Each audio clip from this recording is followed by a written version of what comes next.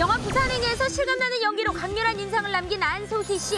극중 호주로 워킹홀리데이를 떠난 학생 역할을 맡아 열연을 펼쳤다고 하죠.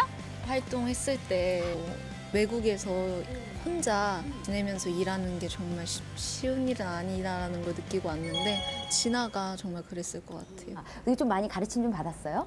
이병헌 선배님이랑 제일 신이 많았는데 촬영할 때마다 뭔가 되게 작은 것인데도 항상 모니터도 같이 해주시고 그래서 되게 친절하게 알려주셔가지고 같이 얘기하면서 어, 호흡을 맞출 수 예, 있게 해주셨어요. 아마 선배님 되게 오랜만이실 거예요. 여자 배우들이랑 혼자서 남자 배우신 게. 맞아, 맞아. 저희가 선배님 편하게 해드리려고 되게 막 노력하고 그랬고 선배님도 저희한테 재밌는 얘기 많이 해주신다고 하시길. 왜 그러죠?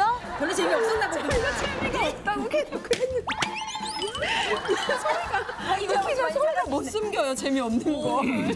아, 어떤 얘기였는지 기억 안 나시죠? 되게 많아요. 궁금한데, 궁금한데 어떻게 좀 벌써 그 얘기만 해도 이렇게 좋아하는 건 뭐냐면 저의 그 코미디에 되게 많이 중독이 됐어요. 그 코미디가 사실 되게 세련됐는데 야 얘- 내가 이 친구들을 거기까지 끌어넣는데 되게 긴 시간이 필요한 정말 뿌듯함을 느꼈죠. 코미디는 한 하이코미디구나. 2시간에서 3시간 정도 함께 있어요. 노력이 필요하구나. 네, 그래서 이렇게 짧게 만났을 때이 카메라에 담기가 힘들다는 게 진짜 아쉽죠. 수 없네요. 모든 것을 잃은 한 남자의 고백이라는 문구가 이 눈에 띄거든요.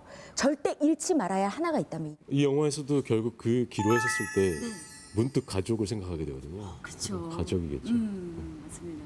우리 공효진 씨는 어때요? 예. 카드? 막 이렇게 얘기하는 돈. 지갑이요. 저도 진아도 그 영화에서 2년 동안 열심히 일을 해서 모은 돈으로 돈이래요, 돈. 아, 모은 돈이구나. 피땀 흘려 얻은 돈을 그렇지. 이러면 안 되지. 우리 이병헌 씨야말로 진짜 요즘 소처럼 일하는 배우다라 그래가지고 저 사실 휴식. 사실은 왜요? 소예요. 이런 거예요, 나. 이런 거구나.